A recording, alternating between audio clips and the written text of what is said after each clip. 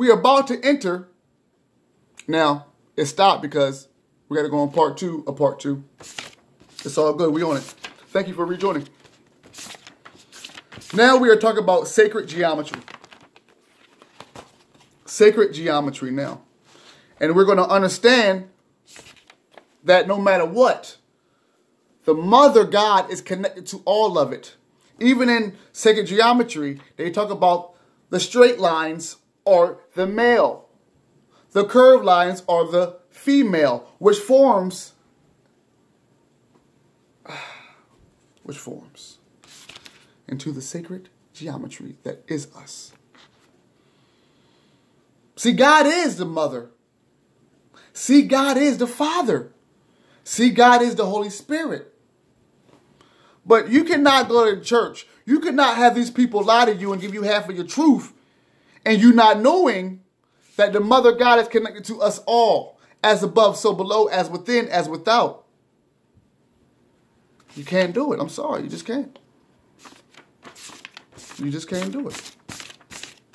You just can't do it. And I'm just fast forwarding, just talking right now. I want y'all to gather y'all thoughts right now. Because sometimes it's not all about me talking right now. It's time for you to gather your thoughts right now and understand.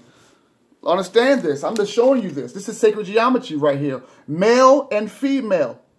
Fuck what other genders you talking about. It is divine masculine and it is divine female. Fuck the bullshit they talking about. You see it.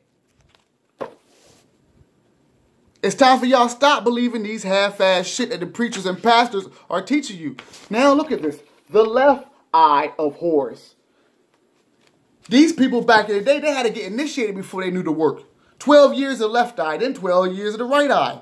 You had to know the balance of the male and the female. Mmm, the unity.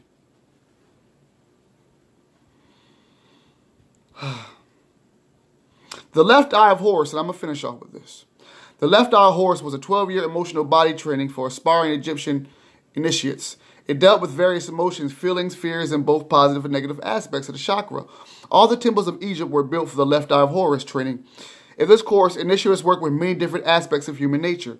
There is a specific fear related to each of the chakras, and each of the 12 major temples dealt with the fear related to a specific chakra. The temple at Kom, that's spelled K-O-M-O-M-B-O, worked with fears associated with the sacral chakra. In this temple, there is a huge hole in the ground. Even modern Egyptian guides tell tourists it was a part of a training process. An initiate had to go into this hole, which was filled with water. Huge stones were placed inside, so they had to be careful not to hit them.